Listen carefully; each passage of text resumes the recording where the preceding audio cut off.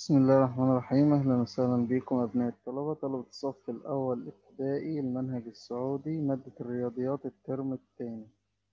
معانا الفصل الاتناشر هناخده مع بعض وهو ده الفصل اللي قبل الأخير قبل فصل النقود. آه، فصل 12 بيتكلم عن الأشكال الهندسية والكسور الأشكال الهندسية ده جزء من الرياضيات.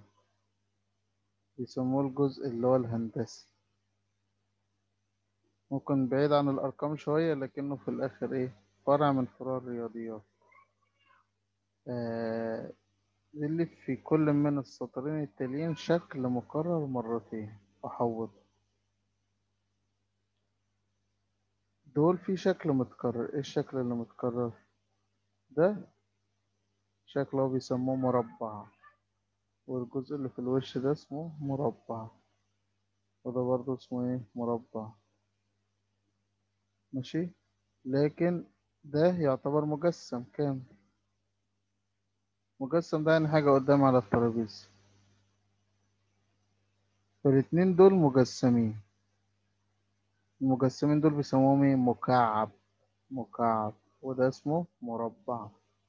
ماشي؟ فيعتبر الشكل اللي هو متكرر مرتين هو المجسم ده. ده بيسموه مجسم. وده شكل اسمه مربع. طب هنا ده مثلث وده مثلث وده برضو تحس إن هو شكله مثلث لكنه في الآخر برضو مجسم. المجسم ده بيسموه إيه؟ مخروط. مخروط. اللي تكرر المثلثين. دي بعض الأشكال الهندسية والمجسمات. حول الشكل المقسم إلى جزئين متطابقين. جزئين متطابقين. هلاقي الجزء اللي الناحية دي ده زي الجزء اللي على يمينه بالظبط.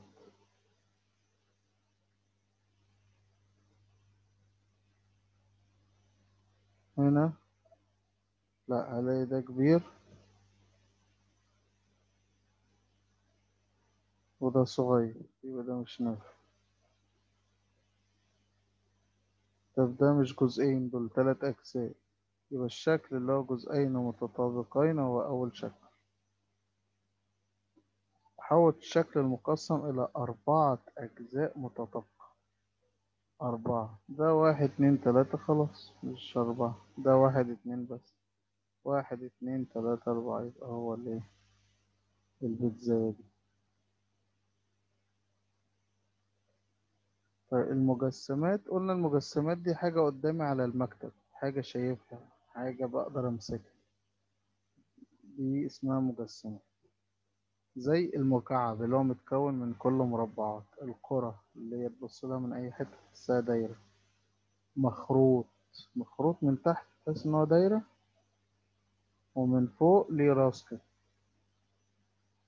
زي ال- الآيس كريم كيمو كونو. وهنا الأسطوانة.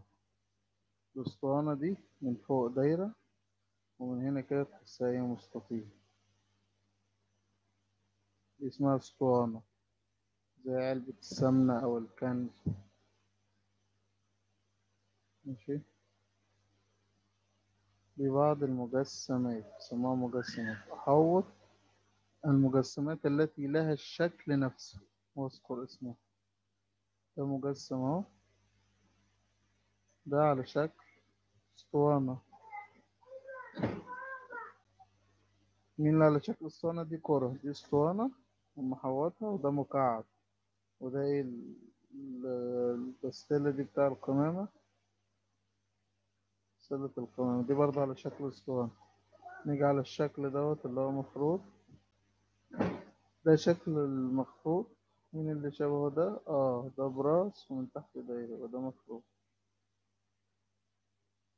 وده اسطوانة ده كرة وده مخروط دايرة من فوق راس من تحت. كرة برتقالة كرة. مخروط لا مكعب لا اسطوانة لا. مكعب ده اسطوانة كرة ده مكعب وده مخروط.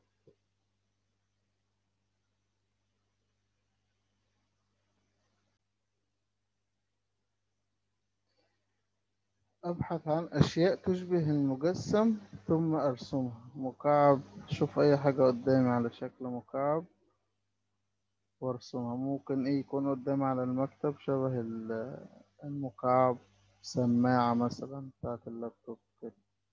اسطوانة كنز أو إزازة زيت أو علبة سمنة. مخروط بتاعة الآيس كريم. الكرة ممكن برتقانة أو تفاحة. أصنف المجسمات إلى مجموعتين أحوط المجموعة الأولى بخط أخضر والمجموعة الثانية بخط أزرق. أنا عندي ده مكعب مكعب كرة كرة مكعب.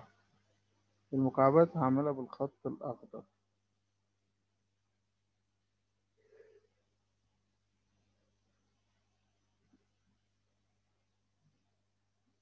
دي المكعبات أهي. والكرة خليها بالخط الأزرق. إزاي صنفت هذه المجسمات؟ صنفتها على حسب الشكل ده مجسم على شكل مكعب وده مجسم على شكل كرة.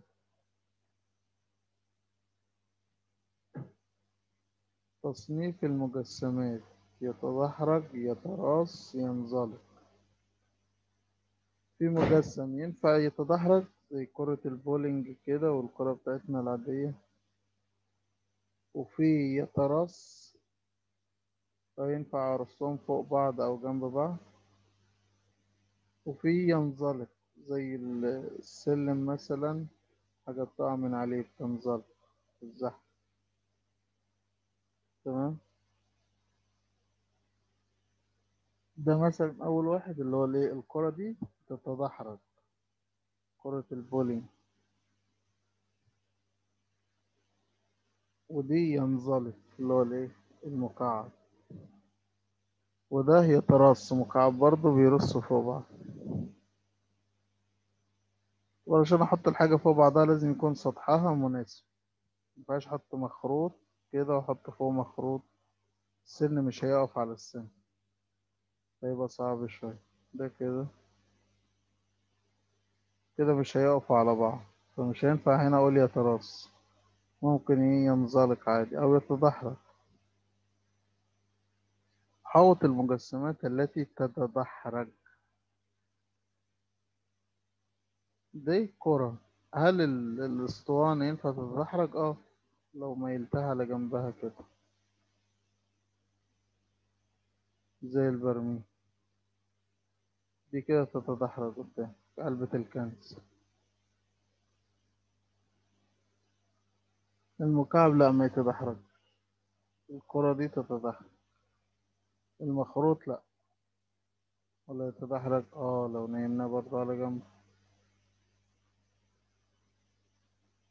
ممكن يتدحرج يلف على دي كده. ماشي؟ طيب حوض المجسمات التي تنزلق. طبعا تنزلق زي المكعب كده لو حطيناه على سلم ورميناه هي هينزلق ده برضه هينزلق الكرة دي هتتدحرج مش هتنزلق ماشي؟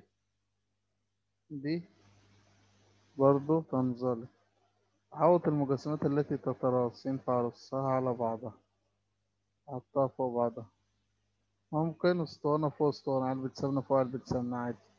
ومكعب فوق مكعب عادي. كرة فوق كرة لأ مش هتثبت.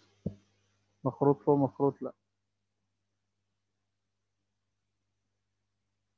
أصل بين الصورة وما يناسبها من مجسمات أو أكتر. إيه اللي ممكن يتدحرج؟ ممكن الكرة. إيه تاني يتدحرج؟ ممكن ده ممكن ده. ينزلق. كلهم ينزلقوا ما عدا اللي الكرة يتراص لا هما الاتنين دول بس.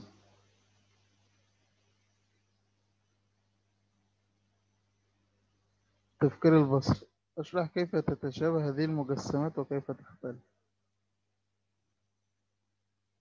هو بيتشابه في ال- ده من كل الوجوه بتاعته مربعات يعني ده مربع ومن هنا مربع ومن هنا مربع ومن هنا مربع وده كذلك وده كذلك. ده التشابه. الاختلاف إن ما خليش واحد فيهم مربع خليه إيه؟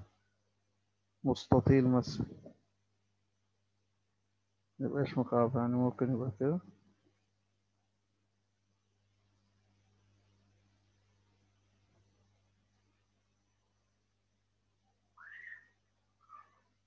ده كده مبقاش مربع بقى إيه؟ مستطيلات.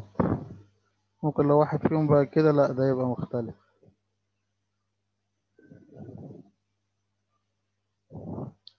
أبحث عن نمط. أسطوانة مكعب أسطوانة. أسطوانة حمراء مكعب أسطوانة خضراء. أسطوانة حمراء مكعب أسطوانة خضراء. ما الجسم المفقود؟ الاسطوانة الحمراء. ده.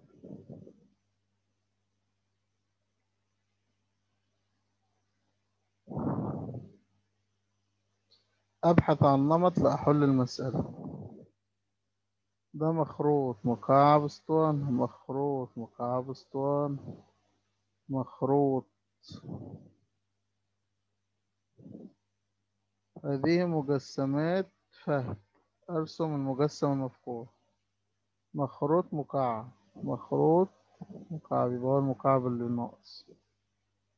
وأرسم. عارفين بترسمه إزاي؟ برسم مربع كده. واجي ارسم مربع تاني كده. أوصلهم ببعض بقى. ده. بده ده. ده.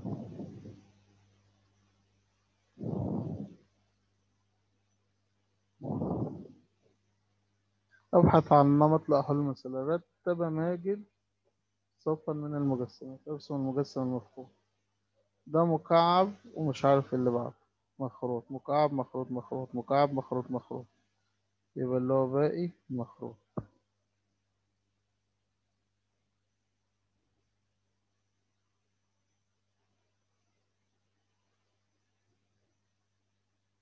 بس ارسمه باللحم رتبت فاطمة صفا من المجسمات واحتاجت إلى مجسمين. ارسم هذين المجسمين. مخروط مخروط. مش عارف إيه إيه. مخروط. كرة. مخروط مخروط. كرة. يبقى هو ماشي مخروط مخروط. كرة. نرسم كرة. لونها برتقاني كده.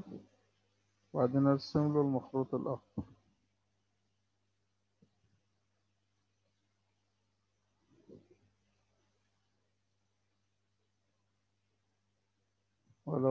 ولونه بقى بالأخضر من جوه الأشكال المستوية والمجسمات شكل مستوي يعني ينفع أرسمه أرسمه على ورق. المجسم ده بيبقى قدامي ينفع أرسمه؟ أه بس بيبقى ينفع يبقى قدامي على المكتب. لكن الأشكال لأ. يعني مثلا ال- الدايرة دي وده مربع. بيقول لي أمرر قلمي حول المجسم ثم أحوط الشكل الذي يظهر عليه. ده لو هو باين قدامي يظهر على شكل مر- مربع. طيب الأسطوانة دي لو هي ظاهرة قدامي تظهر على شكل مثلث ولا دايرة؟ لو أنا بصيت لها من فوق يبقى دايرة. ده مستطيل. ده مكعب اسطوانة ده شكل بيسموه متوازي مستطيلات يعني مستطيل من كل حتة. متوازي مستطيلات. مثلث الهرم ده ده اسمه هرم. هرم. فيما يتشابه المخروط والاسطوانة فين المخروط والاسطوانة ادي المخروط.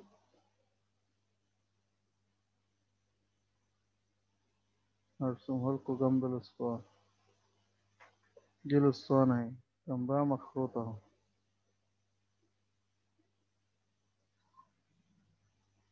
دي دايرة ومن فوق ليها رأس.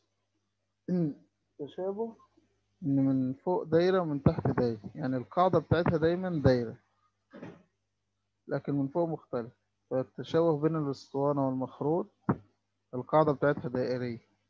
يختلفان إن برضو الرأس بتاعتها هنا دائرية وهنا رأس عادية نقطة. ماشي؟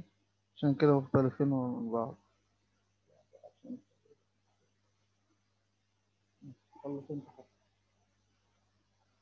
أحوط المجسم الذي يظهر عليه الشكل المستوي المجاور.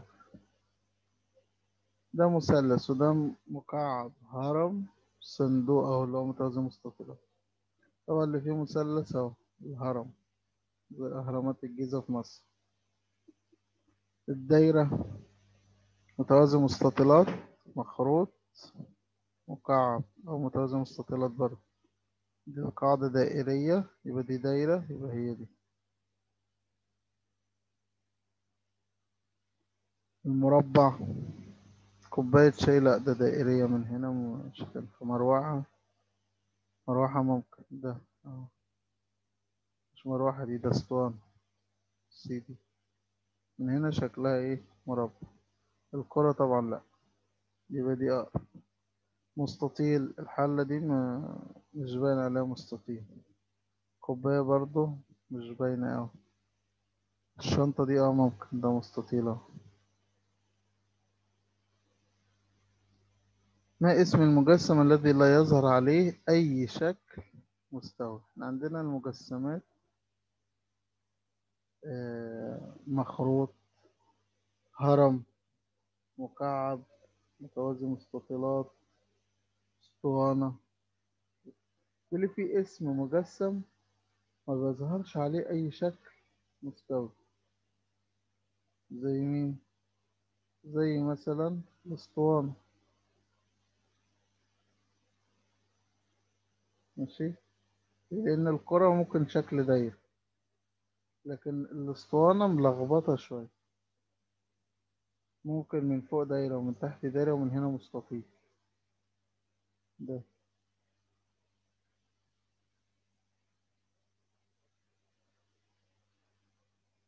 وممكن المخروط. ماشي المخروط لو بصيت له من هنا هلاقيه على شكل إيه؟ مثلث. ممكن المخروط أو الأسطوانة. حوط المجسمات التي لها الشكل نفسه. دي كرة كرة كرة. مكعب.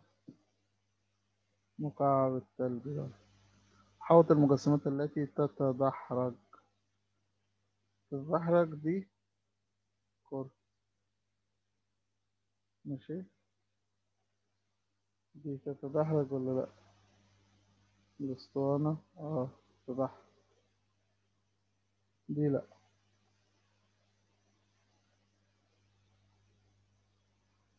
حوط المجسمات التي تنزلق. ممكن ده ممكن ده. حوط المجسمات التي يظهر عليها الشكل المستوي المجاور. مستطيل قلنا اللي هو ده.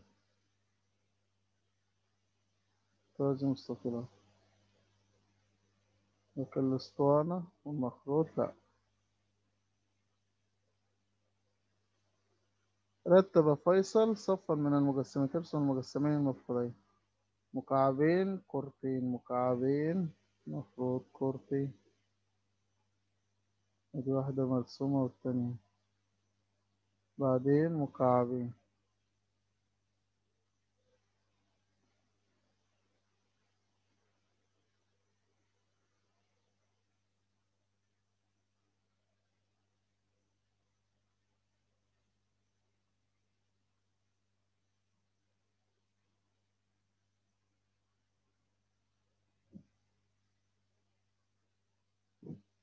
مراجعة تراكمية فصول من سبعة لاتناشر سبعة زائد تلاتة سبعة في مخي وأعد تلات صوابع على إيدي. تمانية تسعة عشرة. بعد بعد السبعة. بدي عشرة. واحد زائد تمانية. بحط التمانية الكبير في مخي وأطلع صباع واحد. بعد التمانية تسعة. تسعة ناقص تلاتة. طلع تسع صوابع. وأقص منهم تلاتة.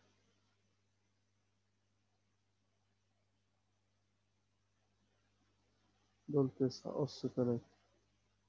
يبقى دي خمسة وفي واحد أهوت يبقى ستة. عشرة ناقص صفر عشرة وما شيلش منه حاجة تفضل عشرة.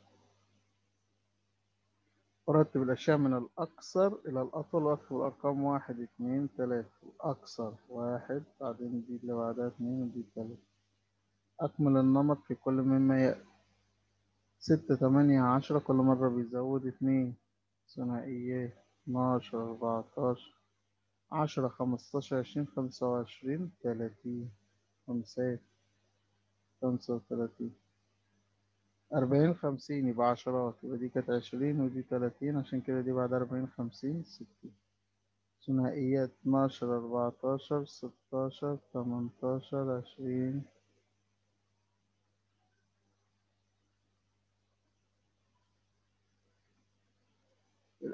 الأشكال المستوية.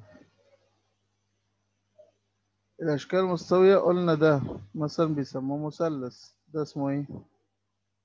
ضلع في المثلث. معنى كده إن المثلث ده عنده كام ضلع؟ واحد اتنين تلاتة. مثلث تلات أضلاع. طب الحتة دي اسمها إيه؟ رأس. إيه الرأس دي؟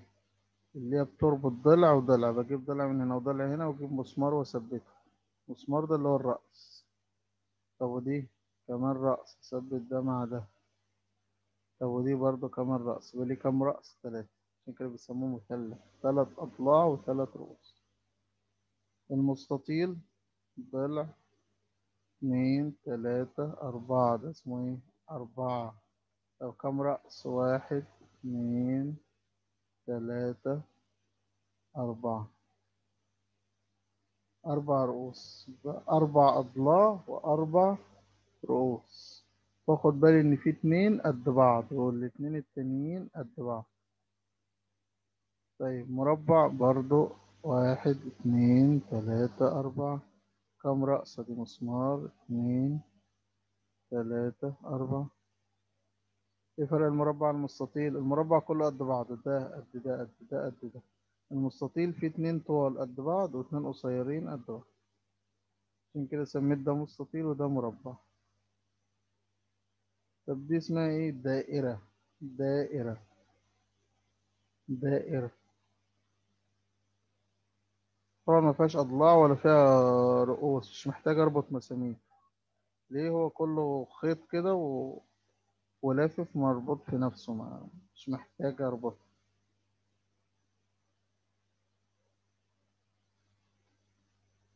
أسمي الشكل المستوي المجاور وأحوط الأشياء التي لها الشكل نفسه. ده اللي هو المثلث ثلاث أضلاع وثلاث رؤوس. مين هنا ينفع شكل مثلث؟ ممكن دي الخيمة وإشارة المرور اسمح للمرور دي دايرة. ولا ضلع من تاني دايرة. اهي. شعار المجلس التعاون الخليجي. هو بيضم دول الخليج. ممكن المنبه ده على شكل دايرة والنص ليمونة أو نص برتقان.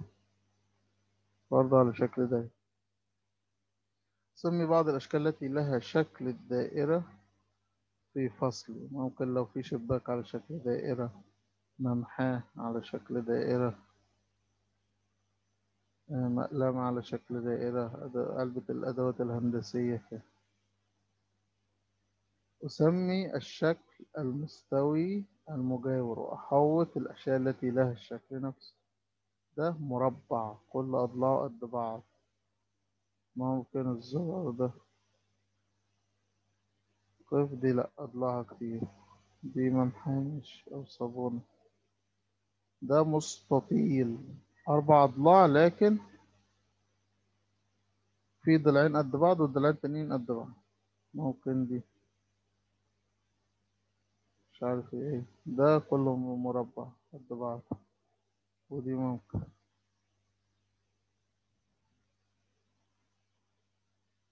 أكتب عدد الأضلاع وعدد الرؤوس. طبعا مربع وأنا مغمض. أربعة والرؤوس لازم زيه أربعة. الدايرة قلنا مفيش. صفر وهنا صفر. هنا المستطيل أربعة والرؤوس أربعة. المثلث ثلاثة والرؤوس ثلاثة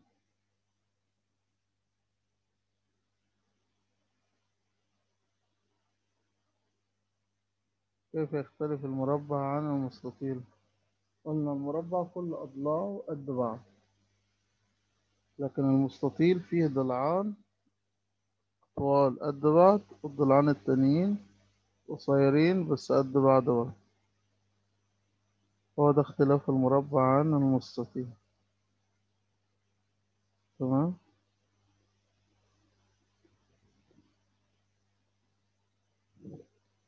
الأجزاء المتطابقة. المتطابقة دي زي المصنع كده بيجيب مصنع. مكنة مثلا بتصنع الممحاة عشان يبيع الممحاة دي لازم المكنة دي تطلع كل الممحاة زي بعض بالظبط. أو ال ticket اللي بكتب عليه اسم كده.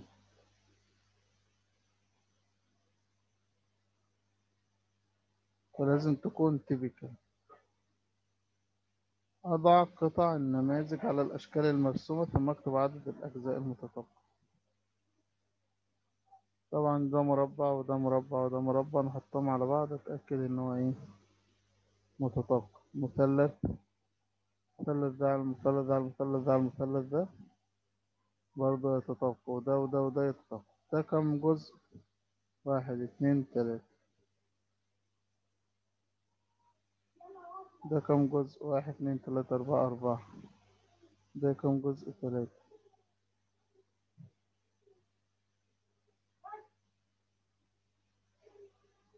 كيف أعرف أن الأجزاء في شكل ما متطابقة؟ أطبقهم. أضم ده على ده على ده واليوم مطلعين قد بعض بالظبط. حول الشكل الذي أجزاؤه متطابقة. جابوا بيتزاي مثلا وإحنا تلاتة أصدقاء. واحد خد دي وادوني أنا دي والتالت خد دي. أقول لهم لا الاسم دي مش بالعدل دي أنت واخد أكبر مني وأنا دافع زي زيك. يبقى نرجع نقسمها تاني بالعدل ده قد ده قد ده قد ده قد ده قد ده قد ده. يبقى دوت إيه؟ كله متطابق؟ تقول لي لا دي كبيرة من هنا لهنا. لو جيت اشيلها واحطها هنا لا دي صغيرة. يبقى دي برضو إيه؟ مش متطابقة. طب دي؟ لا كده اسم العدل متطابقة دي لا مش اسم العدل دي اسم العدل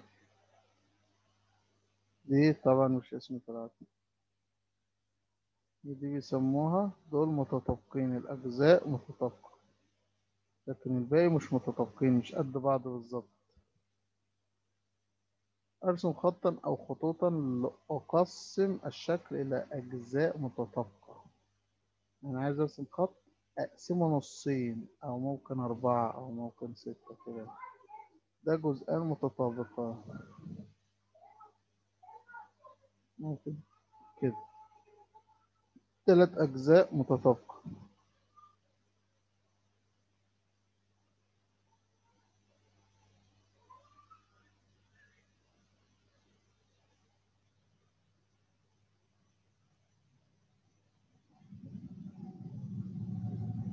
كده.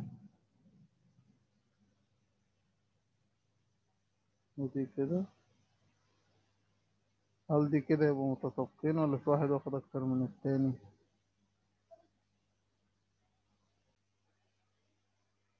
ممكن كده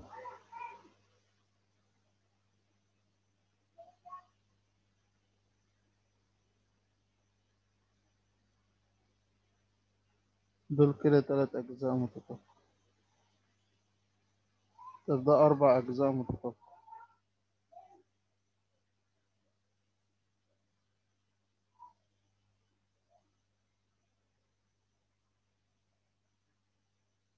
دول أربعة تلات أجزاء متطابقة ممكن كده. ممكن كده.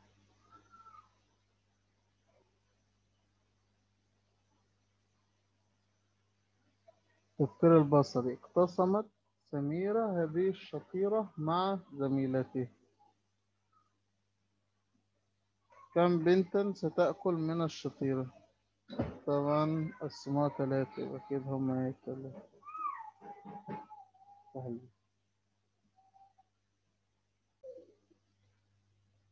العنصر اللي بعد كده النصف. النصف هقسم حاجة نصين بالظبط. طيب النص ده لو عايز أعبر عنه يعني الجزء الواحد فيهم شكل أرقام. دي بسكوت أهي ومقسومة نصين. بكتب النص إزاي؟ النص اللي هو الأصفر ده هو واحد جزء واحد. طب هما كلهم كام جزء؟ جزئين. يبقى ده واحد من أصلا كانوا كام؟ جزئين. ماشي؟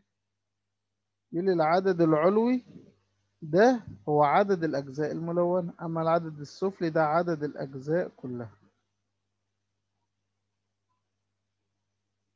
يعني اللي مثلا أنا عندي بيتزا كده هنقسمها كام؟ إحنا كنا تلات أصدقاء هنقسمها تلاتة.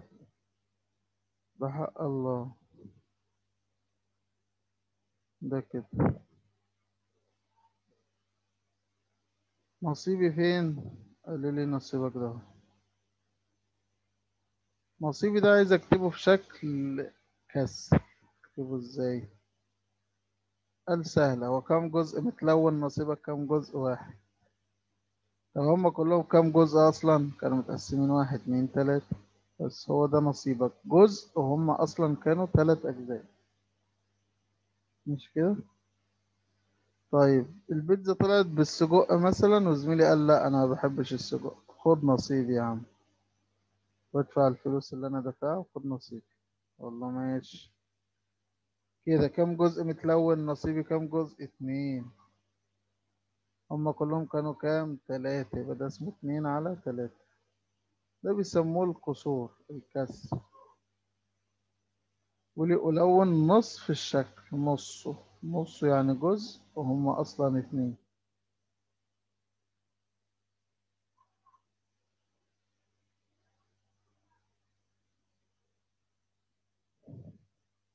نص.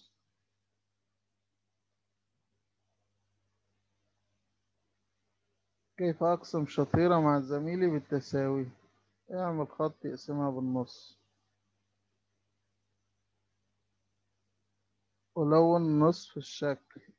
ماشي لسه ملونين. نص قلب اهو. طبعا منفعش حد يعيش بنص قلب.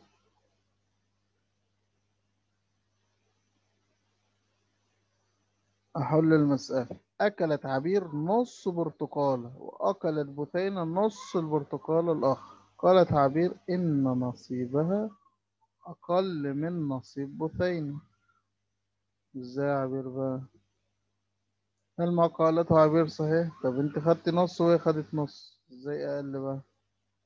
يبقى عبير كلامها إيه؟ غير صحيح. عايزة تعمل مشكلة وتتخانق وخلاص. غير صحيح. الثلث والربع. إحنا خدنا النص قلنا النص ده بيبقى جزء متلون هما كلهم جزئين. الثلث ده جزء متلون ادي واحد. هما كلهم كانوا كام؟ واحد اتنين تلاتة. الربع بقسمها أربع أجزاء متساوية. ده نصيبي. يبقى واحد. كلهم كام؟ أربعة. واحد على أربعة. يسموه ده ربع الثلث. التاني كان اسمه نص. اكتب الكسر. واحد متلون على كلهم كام؟ تلاتة. واحد متلون على كلهم كام؟ أربعة. ألون جزء واحد من الأجزاء المتطابقة وأحوط الجسر أدي جزء واحد أهو. يبقى ده واحد وهما كلهم اتنين. ده واحد وهما كلهم تلاتة. ده واحد وهما كلهم أربعة. نص ثلث ربع. ما الفرق بين الثلث والنص؟ طبعا الثلث ده جزء متلون من ثلاث أجزاء. لكن النصف ده جزء متلون من جزئين.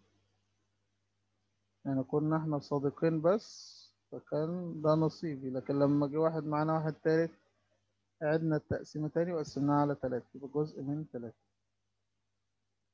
أكتب الكسر الذي يمثل الجزء المأكول. طب هو كام اتاكل كده؟ يبقى ده كان جزء هما كلهم كام؟ تلاتة.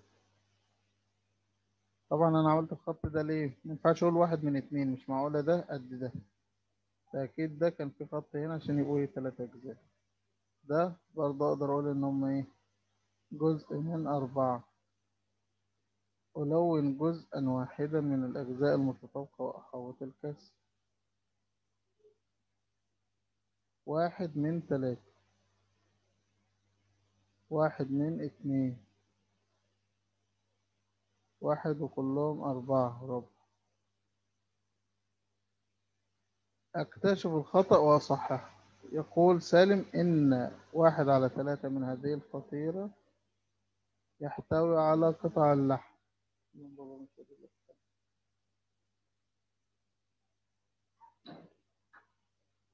واحد إن ثلث هذه الفطيرة يحتوي على قطع اللحم.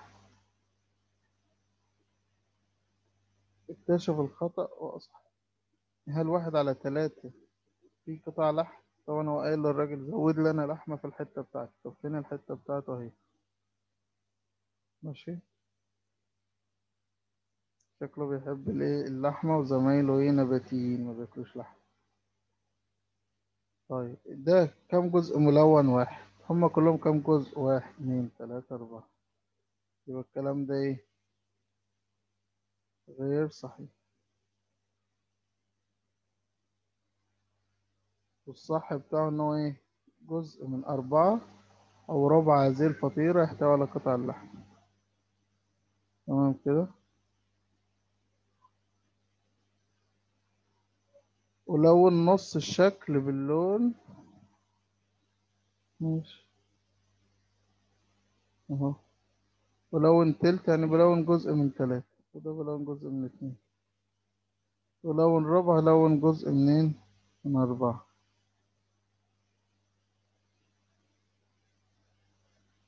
أصل الشكل باسمه. مربع مخروط كرة مثلث. حوط الشكل المستوي الذي يظهر على المجسم. ده مكعب يبقى مربع. أسطوانة. داير. اكتب عدد الأجزاء المتطابقة. هنا اتنين هنا أربعة هنا تلاتة. ولون جزء واحد من الأجزاء المتطابقة ده جزء من تلاتة. أحل المسألة. يريد سامي وياسر أن يقتسم فطيرة بالتساوي. أرسم خطين يبين كيف يمكنهما. أن يقسم هذين هذه الفطيرة خطا عايز يرسم خط يبان إزاي نقسمها بالتساوي؟ بس كده ده كذا طريقة. اختبار تراكم. مجسم المماثل للشكل الظاهر هو ده مخروط. مخروط. ده مستطيل. فين مستطيل علبة الهدايا دي. الجملة التي تمثل الشكل هي وراح على السبعة بعدين أمشي تلاتة. السبعة زائد تلاتة. ورتب الأعداد من الأكبر إلى الأصغر. الأكبر اتنين تلاتة أربعة تلاتة. يبقى أربعة الأول خمسة وأربعين الأول هي دي. من الأكبر. الإشارة المناسبة في الفراغ هي اتنين وتلاتين واتنين وتلاتين يساوي. الشكل الذي يمثل الجملة العددية. ستة ونقصت اتنين. ستة شلت منهم الاتنين دول. يبقى هي دي. يبقى أربعة.